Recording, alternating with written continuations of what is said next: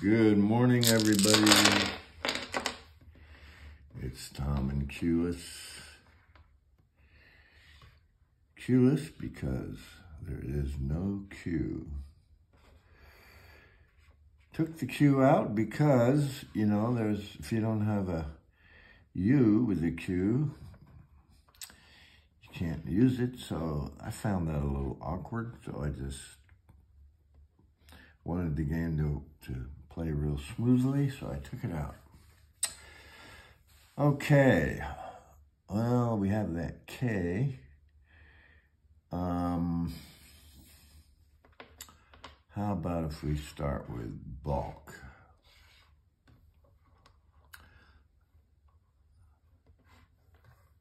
Mm-hmm. Uh, da, da, da, well, you know, huh. Uh, how about this? See,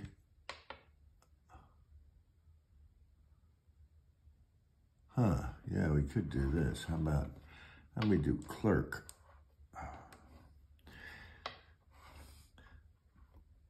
The thing about this game is you got to keep your mind real flexible. That's what's fun about it. You just change your mind. Something doesn't work, try something else. Okay, now we have da, da, da, C. How about this? C L A M P.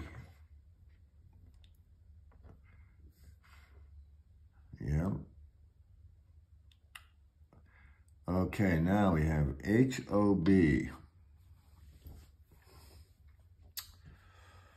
Uh-huh.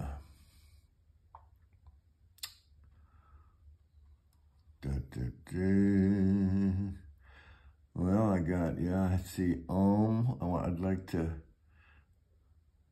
use all three letters, of course.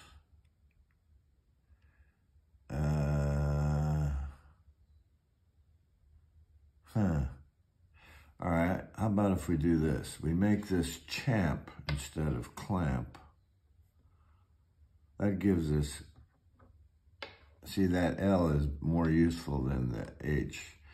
Then we can just put this right here,